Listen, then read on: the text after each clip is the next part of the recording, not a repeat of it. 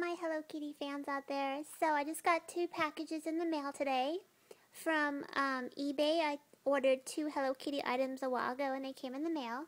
The first thing I bought was this really big um, stuffed animal Hello Kitty.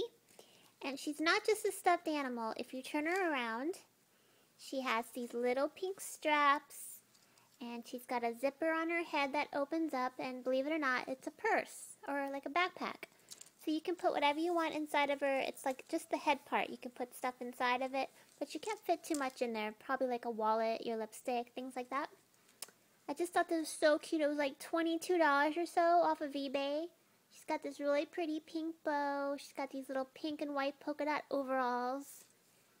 I know it seems childish, but I mean, it's just so cute. I just could not resist. This would be something so cute you could just like throw on in like the summer or whenever you want to and throw a couple items in it and just like walk around with it. It's just so cute.